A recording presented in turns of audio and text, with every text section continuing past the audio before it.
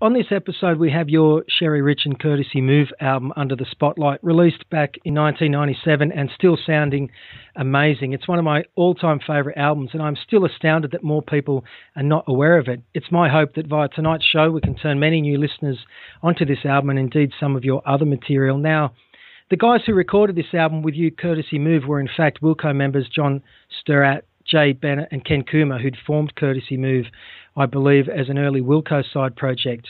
If yeah. we can drift back to late 1996 when you flew to the USA to record this album, what was your mindset like? And I, I guess I'm meaning you'd recorded uh, two strong EPs here in Australia, which did okay. But were you confident about what lay ahead? And I'm referring to the songs you had in the works and what the Wilco boys could do with them. Well, I, I remember I had worked for a long time on the songwriting for that album, and I'd I'd culled it down to 15 songs. Mm-hmm. And um, yeah, I was obviously very excited. It was the first time I'd, I'd been to America, um, and I was a huge fan of, of Wilco and, and the work that they had done. So I was really psyched to go over there. And I think I got there just before Christmas. So um, arriving in Nashville with all those houses in the snow and decked out in all the wreaths and the Christmas lights was really you know, a terrific experience. And um, I guess I was a little bit nervous. I went over by myself. I didn't have a manager or anything with me. And I remember the the guys saying, "Wow, you just you're here by yourself. It's you know that's really that's really something else." Because I guess they just always expect, you know, you've got to have your manager or whatever traveling sure. with you. But I was fairly determined to um, let them have input into the way the songs ended up being because I, I knew that they were professionals and I liked what they'd done before. So I thought, well, I'll just, I'll take their lead. I'm not going to go in there and sort of thump the table and say, I want it like this. Yeah. So the the collaboration with those guys, from memory, you gave your publisher a couple of names of bands you'd expressed a desire to work with. He approached Wilco. They liked your album demos and were on board. Was it as simple as that? It was as simple as that. Um, okay. My publisher was American, and he was on on a trip over there, and I, I said to him, "Well, if you you know run into anybody from Wilco, or I gave him a list of bands I liked." And um, another another band was the Jayhawks, correct? Yes, yes. That would have been an interesting collaboration. Yeah, who knows? I mean, I was a big fan of the Jayhawks as well, and, and as well mm. as Uncle Tupelo. Mm. We kicked off the show tonight with a rollicking album opener, Polite Kisses, written by yourself and Jay Bennett. Great, great way to start the album, by the way. From from memory, it was the second single released too. I really love the piano solo on that song. Was that Jay playing that? Yes, it was.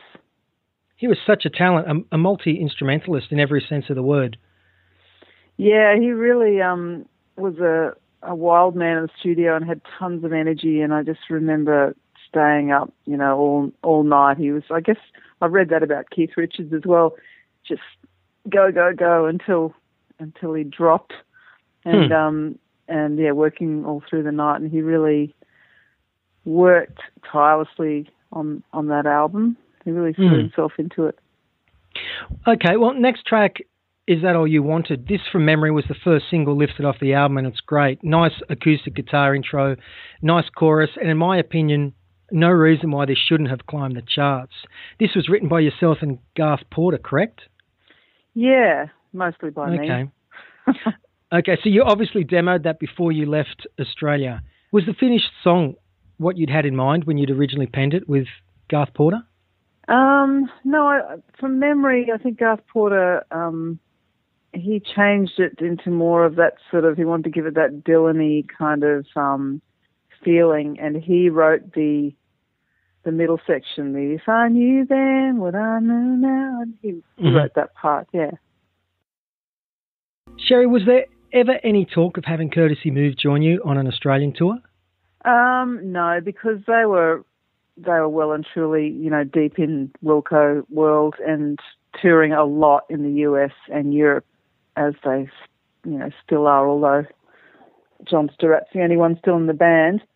Sure. Um, yeah, so we could never make that happen. We did get hmm. together mm. at um, and played played a few shows at um, South by Southwest in Austin, Texas, when the album was released.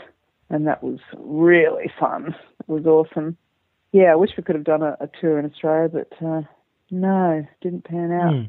Okay, next up is the tune Lonely Boy with the borrowed riff from Mr. Tambourine Man. This was written, I assume, whilst you were still in Australia, another Garth Porter collaboration with help from Paul Kelly, correct? Oh, yeah, I guess I, I started it with Garth Porter, and mm-hmm. then it just wasn't, it didn't feel like it was anything finished, so I took it to Paul Kelly, and um, and he added his input as well. So, yeah. Along with Three Time Loser, we come to my favourite song off the album, Two White Dogs. For the first time in a long time, I feel free. Just two white dogs, the open road, and me. What a song. Love it, love it, love it. Before we play this, can I get you to intro it with a little background info, please?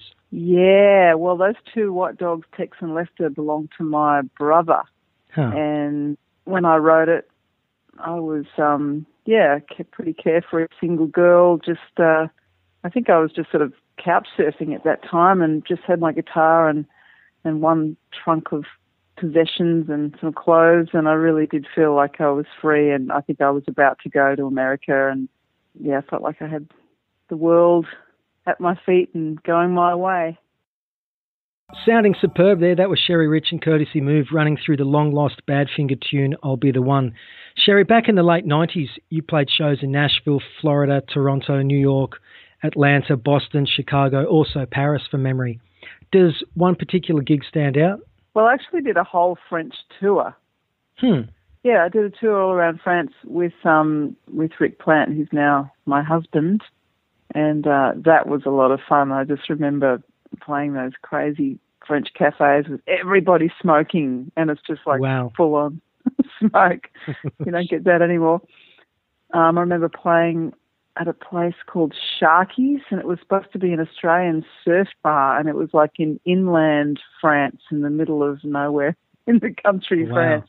Um, what What about in the US? Where did you Where did you develop your strongest um, following? Do you think?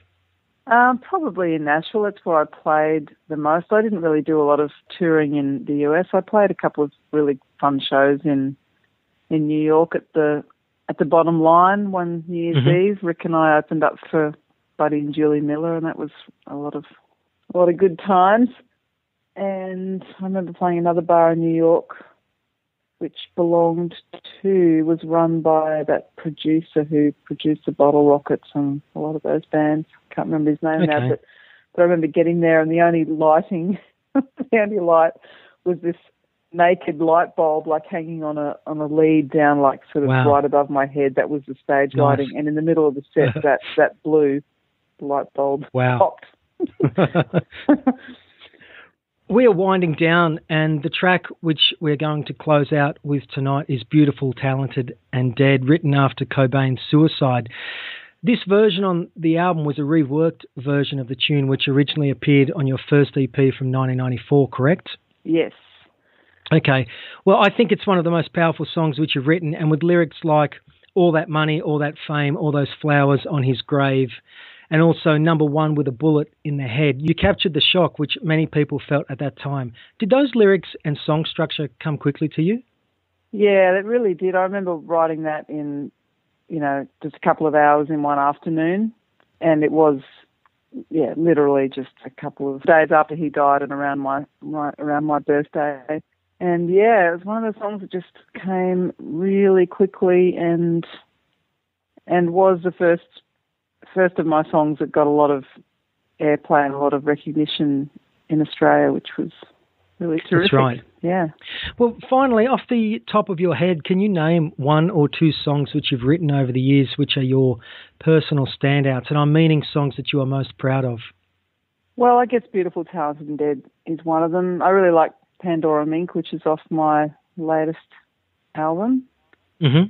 And a lot of the songs on the first Grapes record, I think, are personal favourites of mine. Ones that I wrote with Ashley Naylor and ones that I wrote by myself. I really like Lovely to Meet You and Marmalade. Well, a lot of those, yeah, it, it, we could do a whole uh, episode on that album too. But personally, I think If Only You Knew from the Girl Monster days reworked as Step Inside and included on the Grapes album, Western Sun. For me, that is one of your very best